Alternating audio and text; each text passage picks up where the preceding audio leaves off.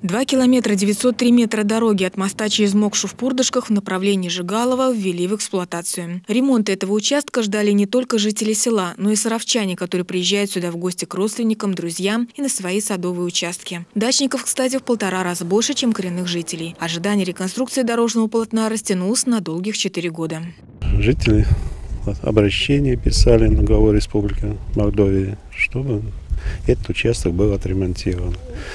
В 2018 году этот участок был включен в национальный проект «Безопасные и качественные дороги».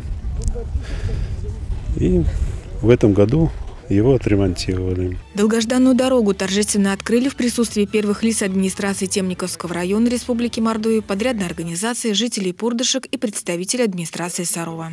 Мне приятно, что здесь присутствует Сарова, потому что Сарова для нас, представители Сарова, Э, Саров для нас, э, для нас это э, важный такой город, это, потому что мы нацелены на выстраивание взаимоотношений экономических, культурных. По словам Сергея Кизима, именно плохие дороги стали тем камнем преткновения, который мешал нормальному развитию взаимоотношений между Саровым и Темниковским районом. Теперь есть все основания полагать, что дружеские связи выйдут на новый уровень. По новому полотну добраться до Пурдышек стало намного проще и быстрее. К тому же этот путь саровчане часто выбирают, чтобы доехать до Саранска и других регионов России. По просьбе мы сделали и автобусные остановки, и разметку, и необходимые дорожные знаки применены все новые современные технологии, поэтому рассчитываем, что дорога вам послужит надолго, да.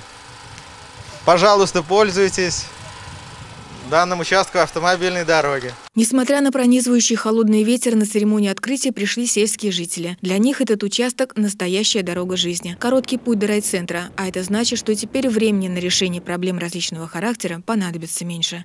Елена Грицкова, Артемий Глазков, Александр Мальков, служба новостей Саров 24.